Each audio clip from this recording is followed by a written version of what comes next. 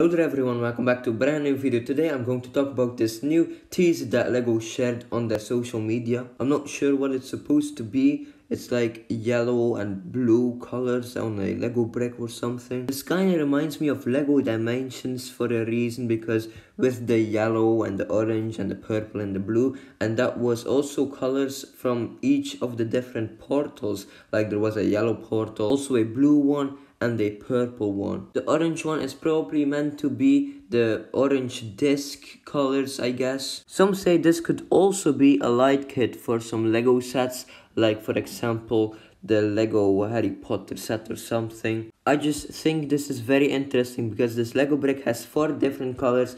Three of them are the main colors from Lego Dimensions and this is supposed to be a lego light kit or something? Well well i'm, I'm not sure. There's also this video that lego released but um i think this is not like connected or something.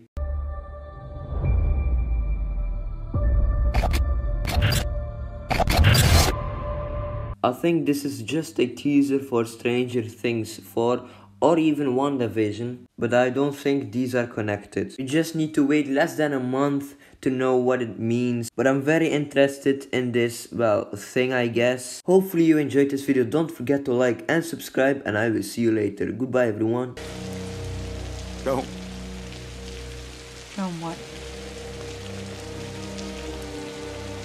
Don't give me hope.